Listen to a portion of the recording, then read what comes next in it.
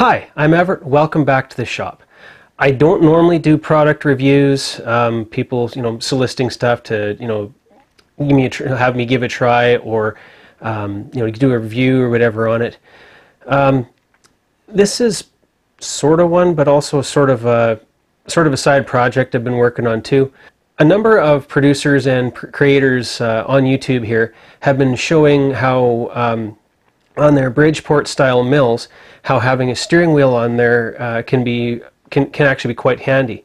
And a little while ago, well, a few months actually, and you know, we've been working on it since. Uh, I got one of the cool boxes. Now, um, inside here was one of the clone wheels uh, for, you know, they, he has the Bridgeport style and then the clone style, and he's been also developing hubs for some of the other style of knee mills. Well, Jim approached me a few months ago, and my apologies to him. I've actually, it's taken me a while to get my end of stuff done, uh, simply because life's been busy between, you know, work and life and growing family and such. Uh, but um, what was really cool is after some back and forth sending stuff and uh, measuring and ideas and head scratching, uh, I got this. So this is a quill wheel for a round column mill drill. And um, it looks a little different in the center because the button with the bezel is missing. It can't be there simply because this is how it mounts. But um, it's a you know it's a it's a Delrin hub just like the ones for the uh, for the full size mills, and uh, we had been discussing this for a while uh, about material types and design and you know ideas of how to how to make this work just because of the the hub that's on there uh, on the actual uh, Rong Fu clones uh, is is a it's a fairly complex little piece of cast iron with an internal keyway, like a blind keyway, and all sorts of fun stuff. So, but this is what this is what the two of us head scratching came up with, and uh, yeah, I've been playing with it for a little while, and I, I actually find it quite handy. Um, there are places when the spoked hub that came with the machine is handy, and there are times, you know, and this is really handy too. It's like any tool. Um, sometimes it's a better tool than others. Sometimes another tool will be better, but you know, I've I've found I quite like this. Uh, what we're going to do is we'll go over to the mill, I'll pop it on, and then uh, we'll just you know do a little bit of work on a project I have on the go already. And uh, uh, yeah, we'll see, uh, I'll, I'll, show you how it works. So I'm not going to be getting rid of the uh, spoked hub with the three, uh, three handles anytime soon. Um, thank you again, Trevor, for the knobs for the handles. Again, been using it for years without it, and at least it looks finished now. Um, one thing about this is there are still times, especially when the head's really close to the table and you're just using the micrometer downfeed anyway, um, that the, you know, the spokes kind of get in the way. Um, so you can still actually screw the spokes out and just have a straight hub in the center. There's a time and a place for every tool, right? But for something like this, uh, for example, right now what I have is I have a piece here that is to my coat hanger, or coat rack rather, and I have to drill a series of uh, holes, you know, all the same depth and whatever. And so, I mean, yeah, I can use the bar here, but when you start having to work your way around, I will admit it does kind of get a little awkward. So for the amount of time it takes to pop off the knob, slide the handle off. Don't lose that little spring. I put a little daub of grease on there just to make sure it stays put.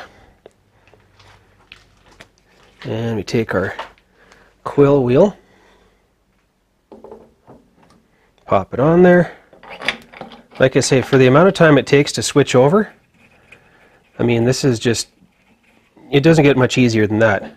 And now I got, I can use like the, you know, one-handed um, uh, or one finger even just to spin it up and down. Um, as far as drilling these holes, uh, what I also have done is I got the um, the pointer in it right now, my little uh, center point. Um, what I've done is I've taken the drill bits and right at the end of the flutes there, I've uh, measured by, well, I've taken the, the drill bit and for both the letter Q, which is the tap drill, and the uh, 316s, which I'm using as a uh, as a pilot drill, I've figured out how far down into the material I want to go, and then uh, written down the measurement on the, uh, well, quill DRO here as to how far it needs to go. And you can lock it, and that actually is pretty much where we need to be.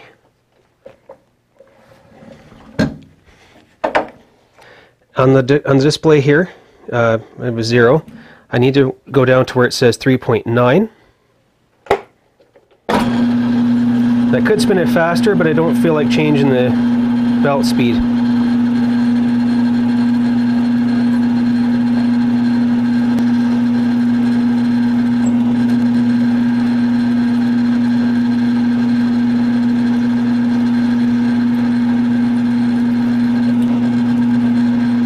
thing is I don't want to go through the top because I don't want to make a hole all the way through. This is going to be a blind hole.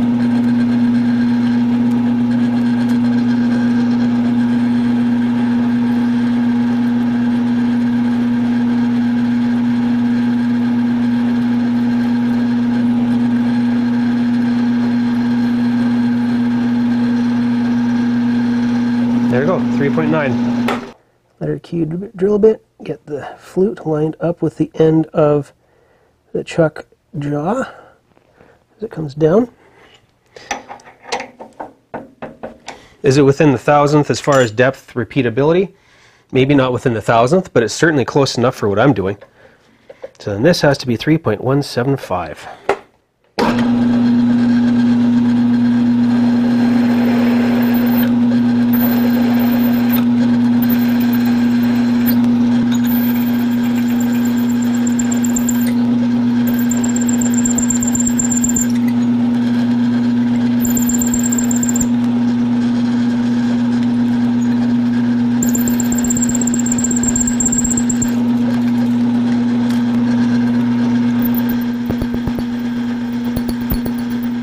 let's go 3 inch 150. That'll be plenty deep enough. So what we're going to do now is tap with an M10 by 1.5. Right, so then we'll take our handle here, bring it down, and I just want to get the thread started. I don't have room for my uh, drill chuck tap handle. Take the tension off the belt. But I don't have room here for the drill chuck tap handle just simply because of the uh, because the vise is in the way. So we'll use our starter tap.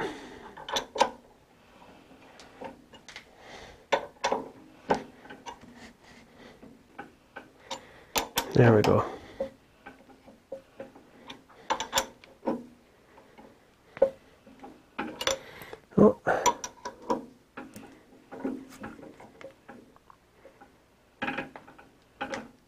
Starting to uh, starting to slip. But again, I will admit that's that's handy. Now it's not necessarily as though I'm always trying to do product reviews by any stretch. There.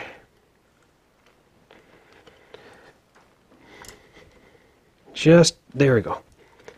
Is it the perfect thing for every situation? Probably not, but I mean, for for repetitive doing holes, like I say, I could just whip it around like that, like you do with your steering wheel. Um, one nice thing is also you can choke up on it if you have to. It's a little difficult to do that with the spokes.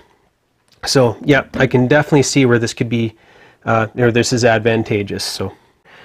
Um, and like I say, even just as far as clearance is concerned, I mean, I'll just hold that up. It's actually even slightly smaller in diameter than the outside of the spokes of the original uh, spoked hub style uh, handle, right?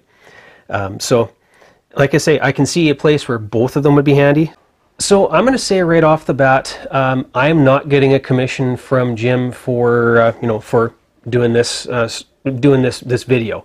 Um, he actually gave me the wheel. I mean, I'll, I'll be honest, he gave me the wheel and we've been working together on the, on the hub and he, he wound up giving me a production hub.